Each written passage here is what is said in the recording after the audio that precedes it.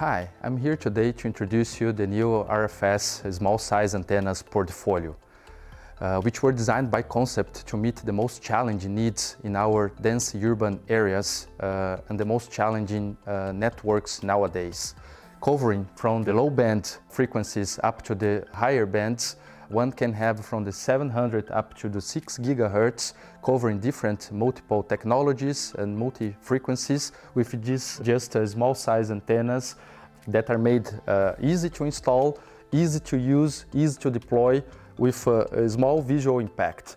So this is really a new portfolio that we are excited to show and to present to the market to be used in dense areas where you have the need for lower latency and also for high throughput. When it comes to small size antennas, please come to our RFS experts uh, worldwide so they can tell you how to do the evolution to the 5G. Thank you.